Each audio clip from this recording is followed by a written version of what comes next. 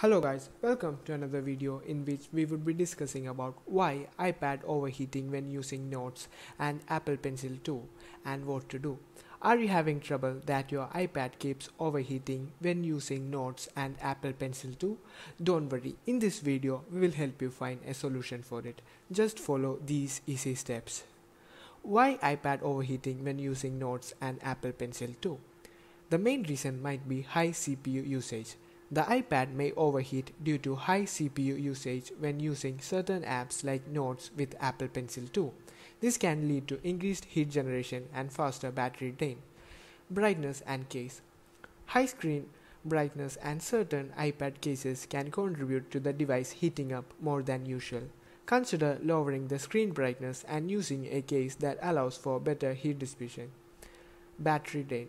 Overheating can also be linked with rapid battery drainage, especially when using the Apple Pencil 2 intensively with the Notes app. This combination may cause the iPad to heat up significantly. What to do if iPad keeps overheating when using Notes and Apple Pencil 2? Fix 1. Close and restart the Note app. Close the Notes app completely by going to the home screen, swiping up from the bottom, pausing in the middle, and swiping through the previous to locate the Notes preview. Swipe up to the preview to close the app. After closing the app, restart your iPad by pressing and holding either volume button and the side button until the power off slider appears. Drag the slider and wait about 30 seconds. Then press and hold side button until you see the Apple logo to power back on. Fix 2. Uninstall Notes app and reinstalling it, then restarting the iPad. Uninstall Notes app. Locate the Notes app on your iPad's home screen. Touch and hold the Notes app icon until it jiggles. Tap the X icon on the Notes app to delete it. Confirm the deletion by selecting Delete.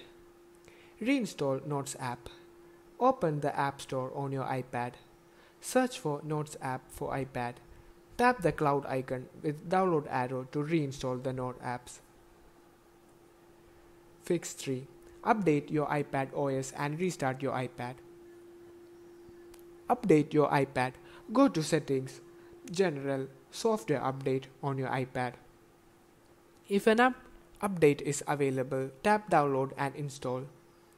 Follow the on-screen prompts to complete the update process. Restart your iPad. Press and hold the home button on the top of side simultaneously. Release the buttons when the Apple logo appears. Fix 4. Contact Apple support team.